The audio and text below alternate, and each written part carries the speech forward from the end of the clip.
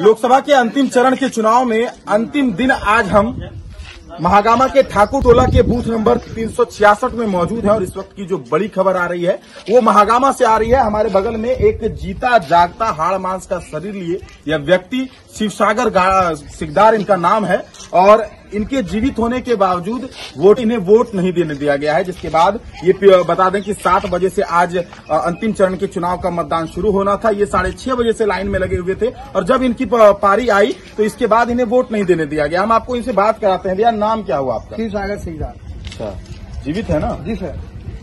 भूत उत नहीं ना आपका? नहीं सर हम लोग भूत है। ये हम आदमी मतलब क्या हुआ क्या हुआ?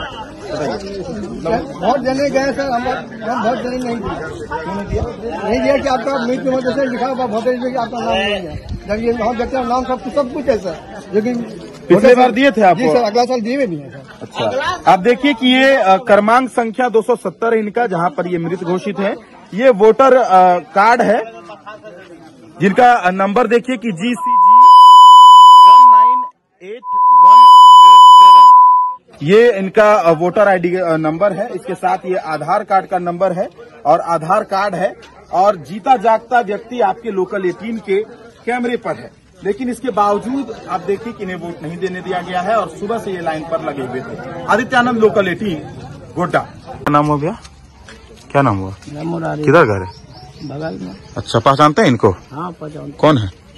ये हमारा नाना लगे तो जीवित हैं जीवित तो ही है खड़ा है बगल में जीवित नहीं है मर थोड़े गया है। इसके बावजूद मृत घोषित कर दिया। हाँ तो एक वोट कम हो गया आप लोग का? तो आप समाधान कीजिए आप लोग का अधिकार तो आपका गया चाचा? संविधान में? जी सर समाधान कीजिए हमको। जब ज़िंदा है हम खड़ा है यहाँ पे। हम्म। जब सबके सामने हम देख रहे हैं कि जब ज़िंदा है तो मीट कैसे कैसे बेच दोगे अंदर जो ये सब क्या लग रहा है किसके गलती की वजह से हुआ? ये सर जो सर्वे जो करता है सर वो आकर के हम घर घर आता नहीं है। बताता नहीं है कि ये- ये कोई काम हो रहा है। बताता नहीं है रहता है। ठीक।